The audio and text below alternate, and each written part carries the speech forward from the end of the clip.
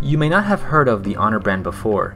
Owned by Huawei but operating independently in the US market, it announced the Honor 5X at CES as a hashtag no nonsense phone. The Honor 5X has all the major bases of a modern day smartphone covered a 5.5 inch screen, a fingerprint sensor, and a 3000 mAh battery, all wrapped up in a full metal jacket. All this for just $200. So naturally, we had to see if the Honor 5X was too cheap to be true.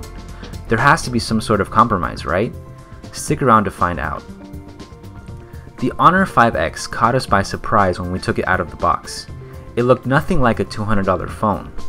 The metal backside was cool to the touch, and the added weight completely threw us off, as it felt like we were unboxing a much costlier phone.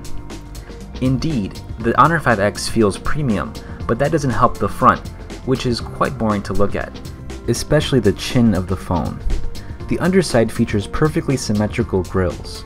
The left one is a mic, and the right one is a loudspeaker, which isn't too loud. Thankfully, we didn't find ourselves accidentally covering the speaker since it was generously long. The 5.5 inch screen is an LCD 1080p IPS display, and Honor used a black frame to surround the display, creating the illusion of thinner bezels.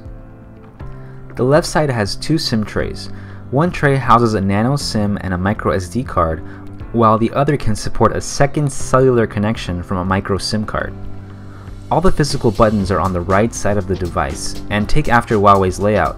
It certainly takes some time to get used to the lower power button position. If you do press the volume down key twice though, you can actually wake up the phone, start the camera, and snap a picture all in one go. That's another trademark Huawei feature. The fingerprint sensor is crazy fast. Just place your finger on the sensor and it'll wake the device, bypassing the lock screen completely. The Honor 5X runs Huawei's EMUI layered on Android 5.1.1 Lollipop.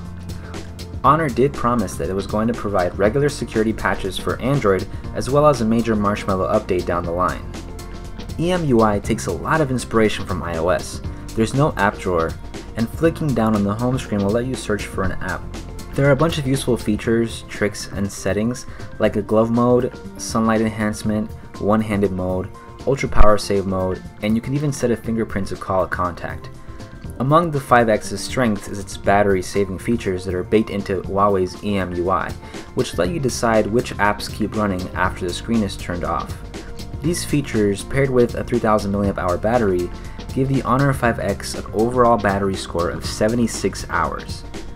The 5X has a 13 megapixel camera and a 5 megapixel front shooter.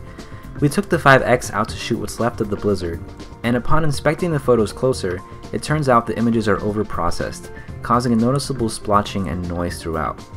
Though this should be just fine for regular social media. In terms of performance, the Snapdragon 615 delivers a nice user experience.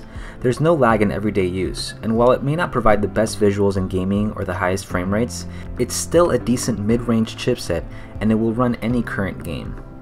All things considered, the Honor 5X is a steal at $200, if you don't mind the lack of NFC and the average camera quality.